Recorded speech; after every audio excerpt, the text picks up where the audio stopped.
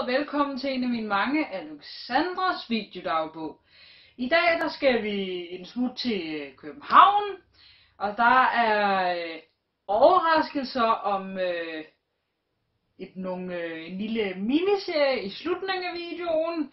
Der er kanalrundfart, og der er hermed også en lille hemmelig mission den første dag.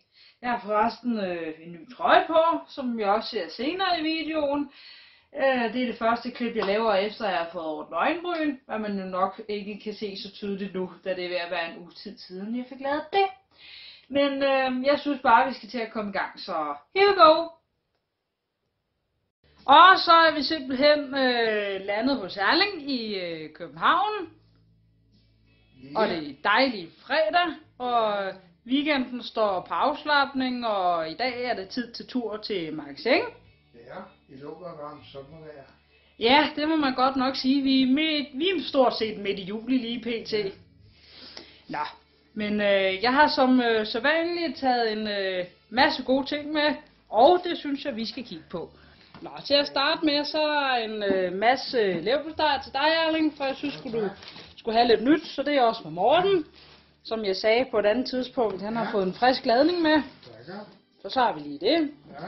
Så har jeg taget noget creme fraise med, som jeg havde til overskud for noget, øh, noget dressing noget.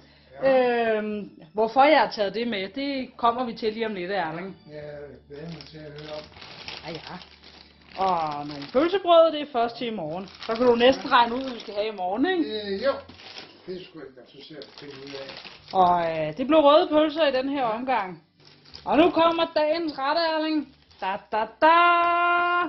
Det er simpelthen en risret med lidt kaj og sådan lidt forskelligt. Okay. Du ved, Morten han laver stor, altid alt for store øh, risretter til ja. sig selv og til, til os andre. Mm. Så, øh, så det får man jo også glæde af en gang imellem. Ja. Og nu kommer desserten, Erling. Og den sidste ting. Da-dam! Honningmelon. Og det regner jeg med, at vi kan fordele ud på de næste to dage. Det skal nok kunne lade sig gøre.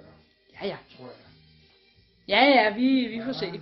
Men øh, så går turen lige om lidt til magasin, og der vil være lidt, øh, lidt øh, billeder på vejen. Så vi er hermed på vej ud af døren, Erling. Yes.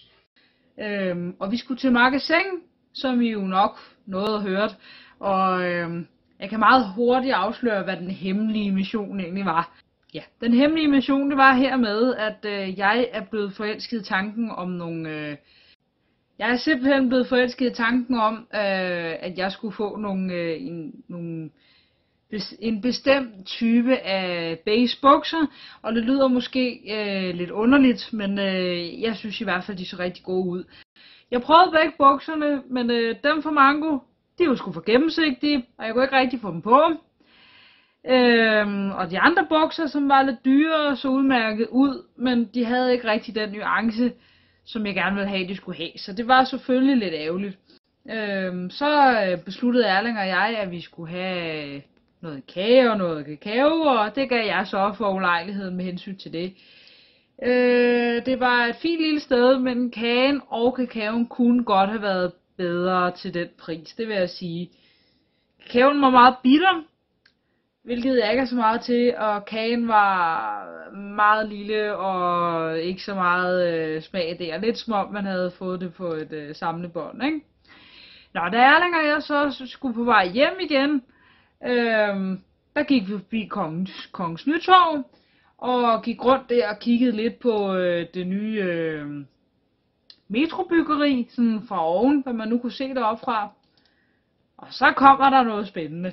Fordi normalt er jeg ikke en mærkehej, men øh, der findes altså, øh, I kender sikkert godt det der øh, dyre luksuriøse mærke, der hedder Gucci, og de har altså en øh, butik ikke så langt fra magasin, så selvfølgelig skulle Erling og jeg det også lige ind og kigge i den, for at se om der var noget interessant derinde. Øh, og det meste af det må jeg indrømme, det var ikke lige mig. Men jeg blev igen igen forelsket i nogle strømper. Og ja, simpelthen nogle strømper. Øhm, som var lilla. og så er vi kommet hjem igennem efter vores tur i magasin.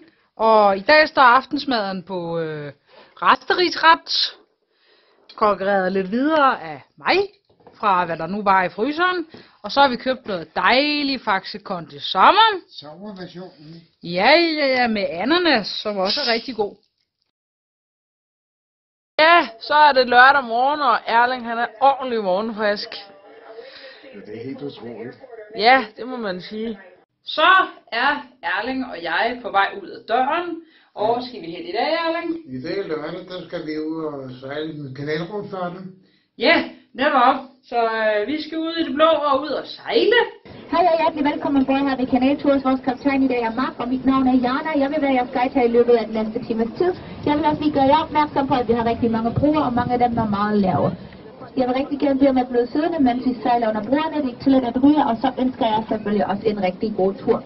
Ja, det er jo rigtig, rigtig mange københavnere, som svømmer i havnevandet her, og det hænger sammen med, at de har det reneste havnevand i hele verden her i København. Så vi kan svømme i vores havn, vi kan fiske i det, og vi kan også spise den fisk, vi fisker. Vi har over 100 forskellige fiskearter i havnen, muslinger og også østers.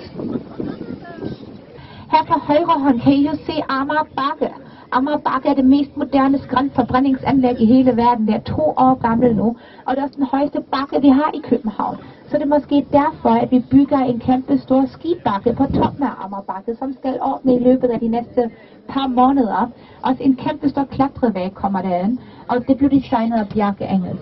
Der foran os har vi Blok, og det er en af vores største bygninger, og det er blandt andet det danske arkitekturcentrum, som er Desværre der. kører vi forbi den bro, you som vi you kunne have kigget lidt nærmere på.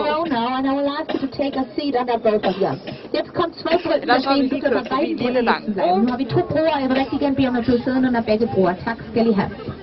Jeg håber rigtig, rigtig meget, at I har nyt turen også til jeres ophold her i Københavns Indre Havn.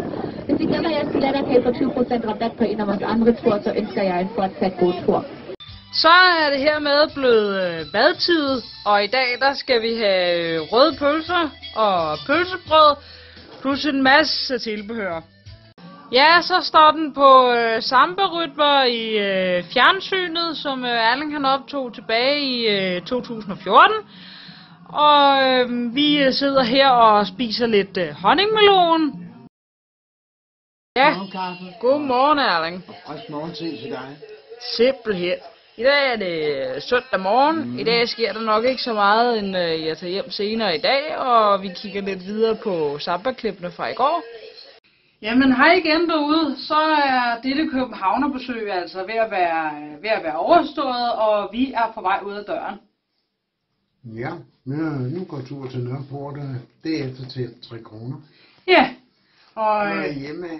simpelthen. Åh, Erling.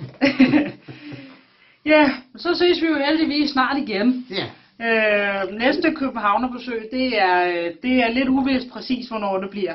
Men øh, i hvert fald en gang i næste måned. yep. Og inden vi forlader helt, så har øh, jeg en lille nyhed, når vi snakker øh, videoer her på siden, om øh, en, en ubestemt øh, form for tid. Det vil sige, at vi vil ikke sige, hvor mange uger det er, men øh, om et antal uger, der øh, skal jeg ud og rejse sammen med øh, min sydkæreste Morten.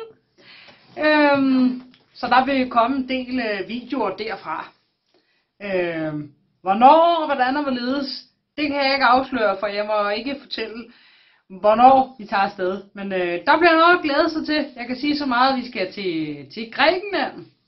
Men øh, det var simpelthen alt for den her video. Vi vil lige øh, få det med. Så øh, vi ses derude. I må have det rigtig godt, til vi ses igen næste gang. Hej! Hej hej. Også hej.